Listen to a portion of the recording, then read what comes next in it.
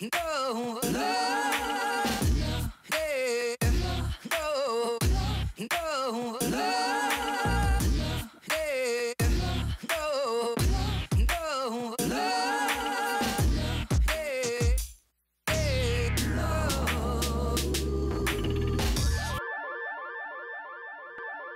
My name is Guilaine Kinouani. I am a therapist.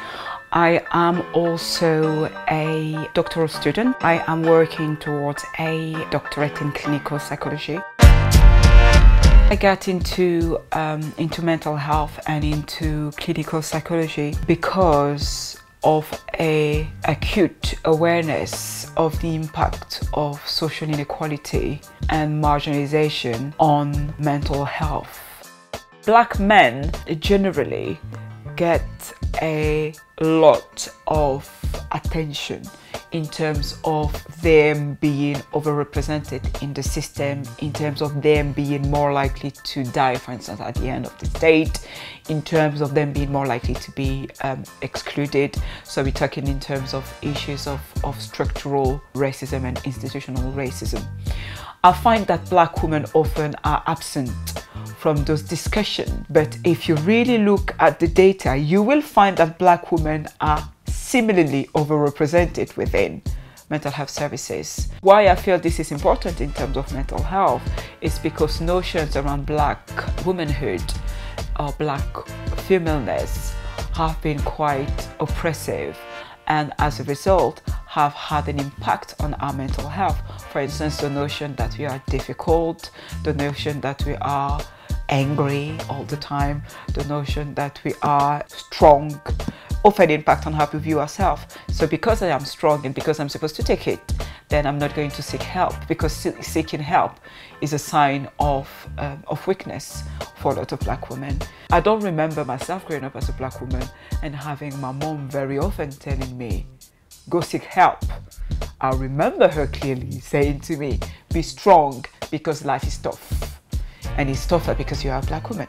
There is a tradition within psychology and within psych- psychiatry, certainly, to view um, distress as an illness or as something that happened internally to the individual. So something, for instance, that is due to faulty gene or faulty um, cognitive process or faulty brain structure. And I think this is also something that can alienate a lot of black women because they think actually I refuse to accept that I am ill or that there is something inherently faulty or diseased about me. What I'm doing is surviving in a world that is quite uh, difficult and hostile, that is oppressive, where I have to contend with sexism, racism, and their intersection. And as a result of those experiences, then my mental well being is going to be affected. It's nothing to do with me as an individual. Those issues are systemic, they are structural, they are historical. And people think actually I don't want to be seen as pathological. I'm not sick, which is a valid position to hold in the world. There is also, I feel the need of um, a lot of women thinking, hey, life is tough enough as it is, uh, you know, as a black woman.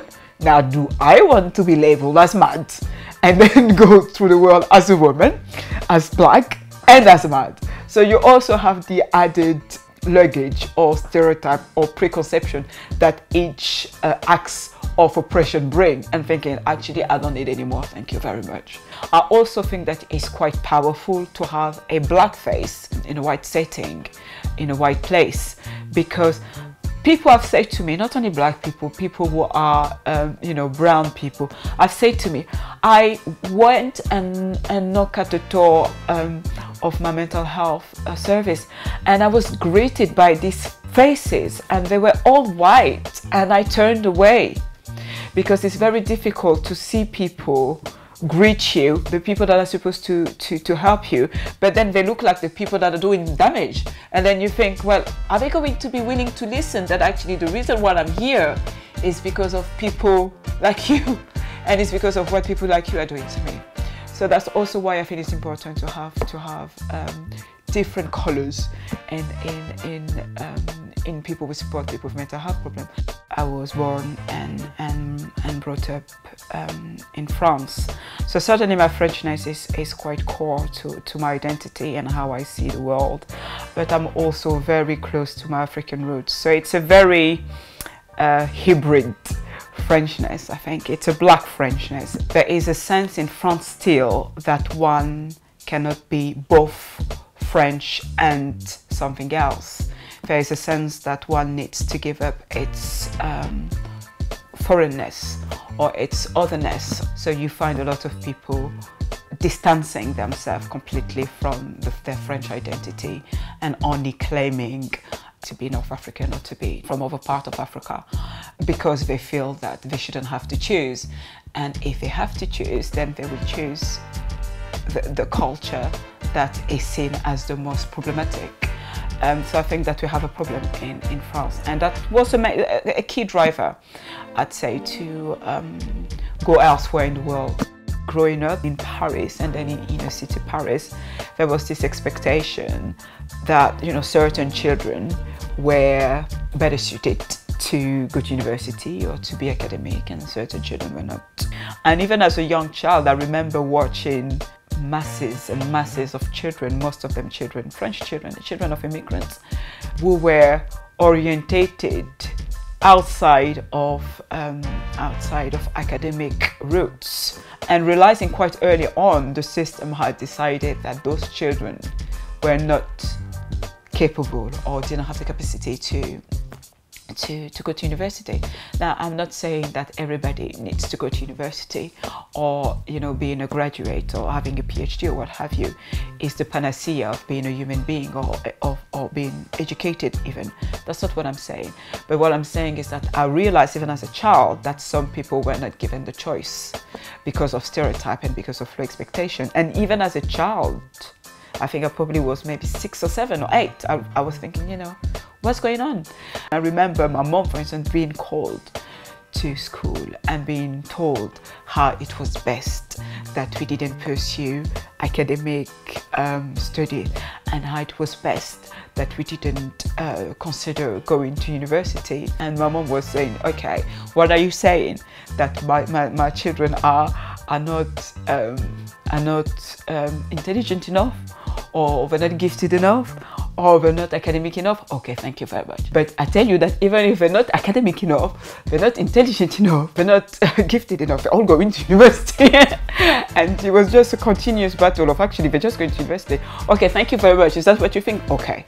Thank you. But they're still going to university. And she's done that all the way through thinking that i really don't give a shit what you think. I have faith in my children and i know that they are good enough they might not be Einsteins, but they are definitely good enough to, to pursue academic um, academic studies. And as it turned out, you know, most of us did go to university. So in the end, you think, bloody hell, if it would have been, if my mom wasn't the kind of woman uh, that was saying that, yeah, whatever, man, they're going to university, um, none of us would have achieved what we've achieved, definitely. And that just takes me back to masses of, of potential um, is being lost simply through um, bias and, and low expectations. I know how hard it can be to be a parent when you are in the midst of oppression, marginalization, discrimination. It's a lot of challenge to manage for people of color and still be good enough parents. I tend to see that trauma and an oppression can be passed down generation. Trauma doesn't disappear. It gets into our psyche, then become activated in our day-to-day life when we experience situation at work, for instance, which might be oppressive. So that you're not only dealing with the oppression which is occurring in the moment, you're also dealing with the historical trauma of slavery, of colonization, of um, dislocation, for instance, and racial injustice. So I don't know if you might have noticed, but we see that quite a lot when, for instance, you've been treated unfairly.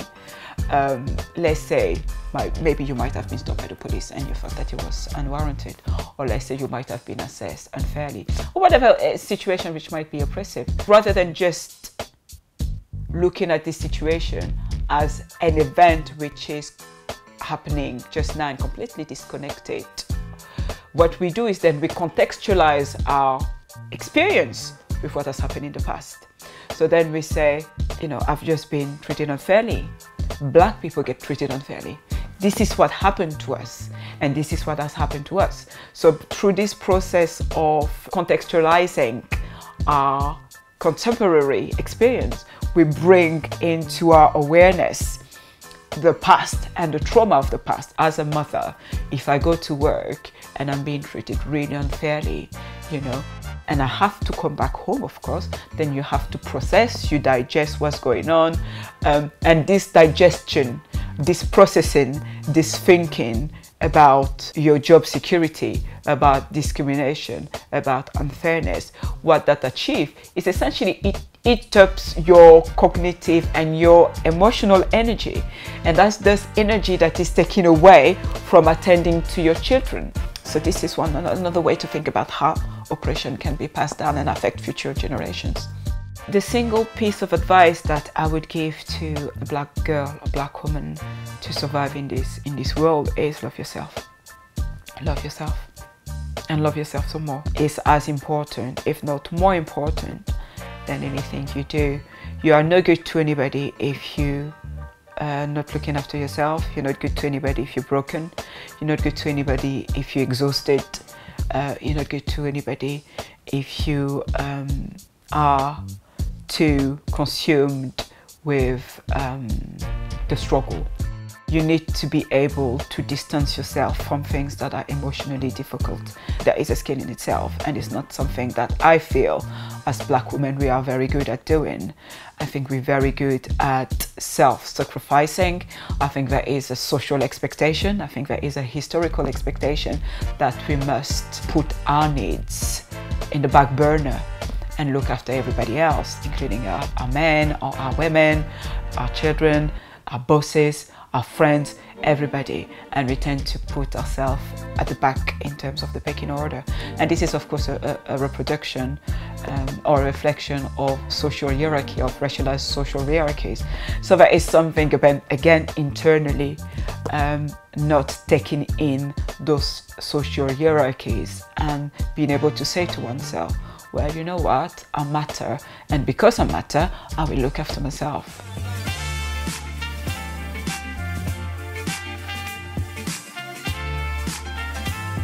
I remember I met a dentist and he kept going on and on and on about how French people are rude and how if it wasn't for the British, the French would be speaking German today. I mean, it was just a tirade. He never stopped until I left the office. And you're like stuck there. I'm stuck there with my mouth open and and salivating almost. And it's like, you know, I don't want to make him upset. yeah, just So, you know, he I don't know, don't what mouth. it's going to do to the mouth. My face is very important.